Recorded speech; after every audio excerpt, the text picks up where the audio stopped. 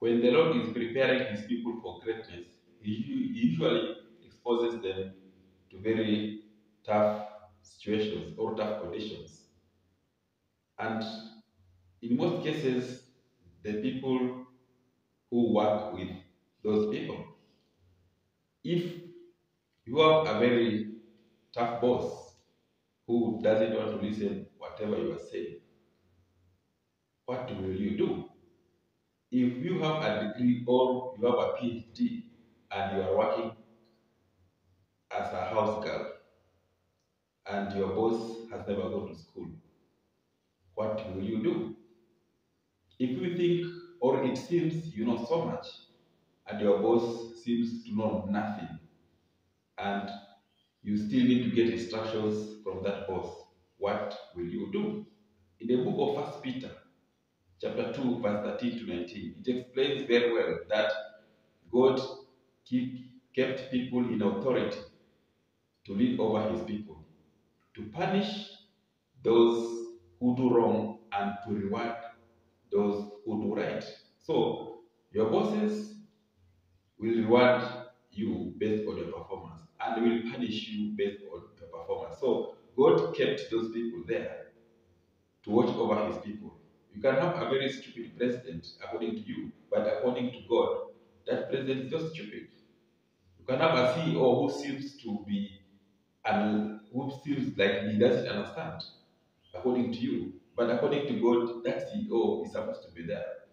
So when God is preparing for greatness, maybe for example, you are not you are not married and you want to marry, He can pass you through a man or a woman who is your boss or a junior staff who can give you help on earth just to test you if you can forgive and just to see if you are ready for that marriage.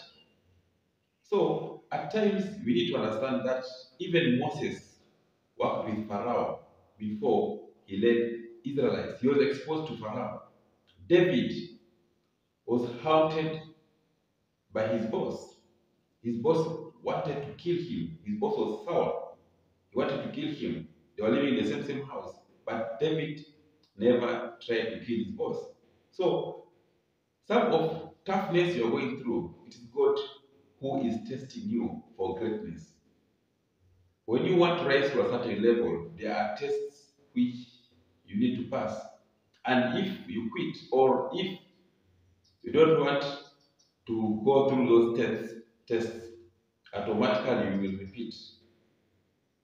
Imagine you are a cleaner washing a supermarket and during rainy season. You watch people pass, they make the floor dirty.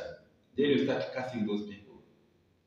There is greatness you are going to miss, or you are going to delay your own blessings. So always understand when you are in a work environment, at times before you get your own work, you have to do the job. And it is through that job where God will test you if you are ready for your own. Remember, if you are trusted with small things, you'll be trusted with great things. So that job is a small thing, but there is great thing ahead of you. So don't always curse people who are tough on you. Don't always curse people who look stupid or who you, you think that they're not nice. But in all in all, just understand that God kept people in authority for the sake of his own people.